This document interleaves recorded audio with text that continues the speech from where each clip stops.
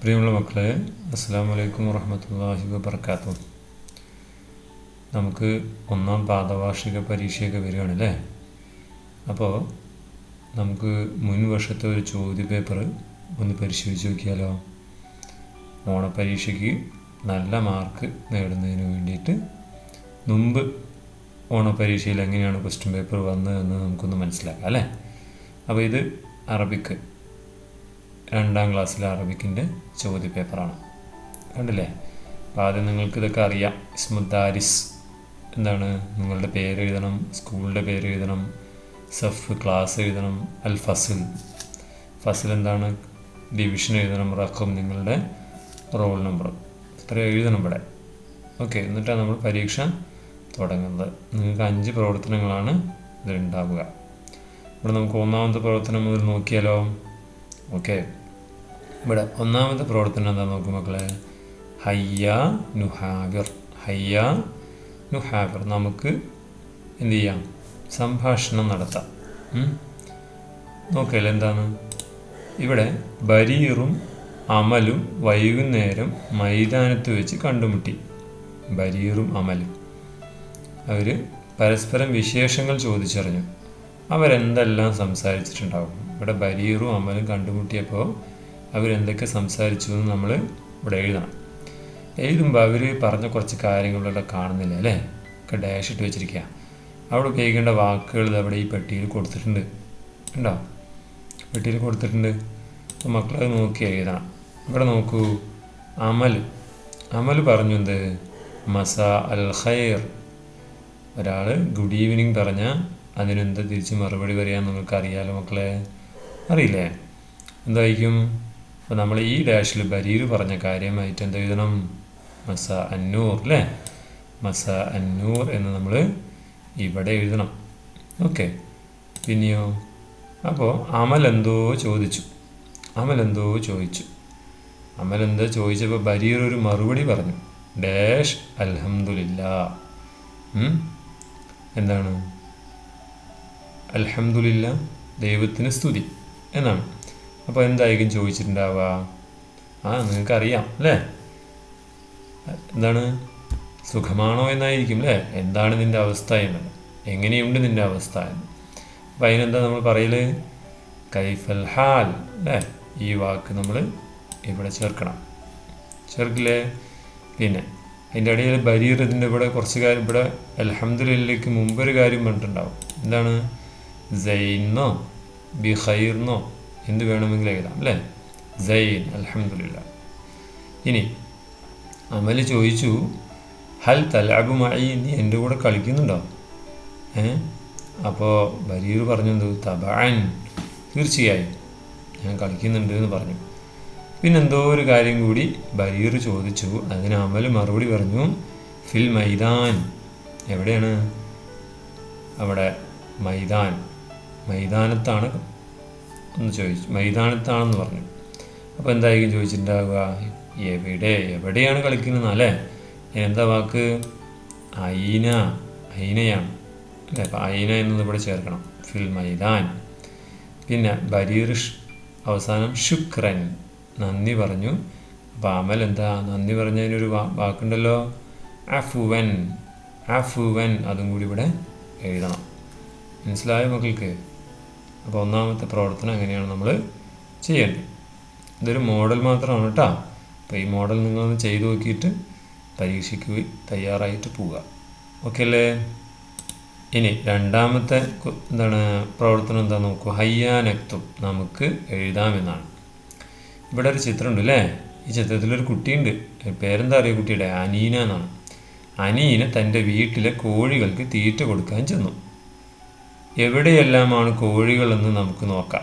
ഇവിടെ കുറേ കോഴികളുണ്ട്. അതൊക്കെ എവിടെ ഇരിക്കണം നമുക്ക് എഴുതണം. അവർ എഴുതുമ്പോൾ കുറച്ച് വാക്ക് ഇവിടെ പോയിട്ടുണ്ട് അല്ലേ? ആ വാക്കുകൾ ഇതെവിടെ കിടക്കുന്നുണ്ട് ഉണ്ടോ അത് നമ്മൾ അനുയോജ്യമായ സ്ഥലത്ത് കൊണ്ട് വെക്കണം. ഇവിടെ ആ ദീഖ് പൂവം കോഴി എവിടെ ഇരിക്കുന്നു ഇവിടെ? മുകളിലാണ് അല്ലേ?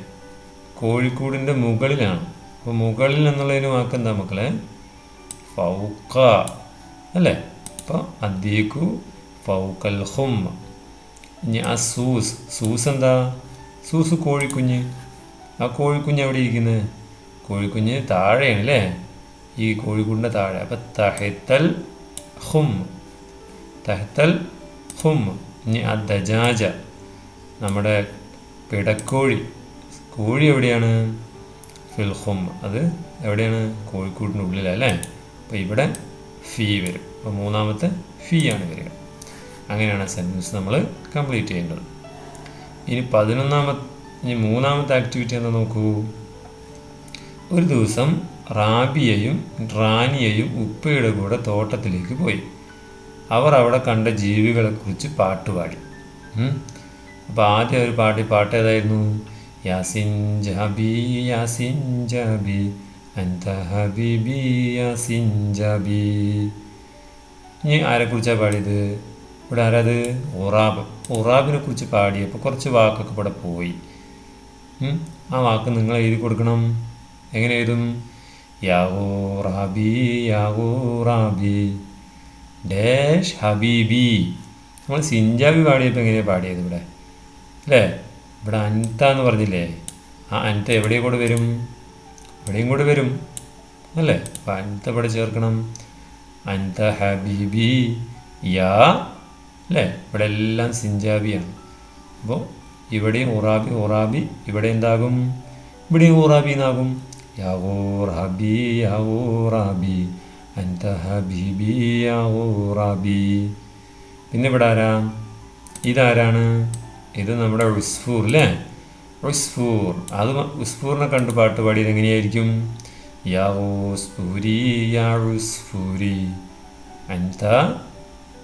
ഹബീബി ഹബീബി എന്ന് എഴുതണം. ഇവിടെ യാ എന്ന് എഴുതണം. ഇവിടെ ഏതാ പോയത്?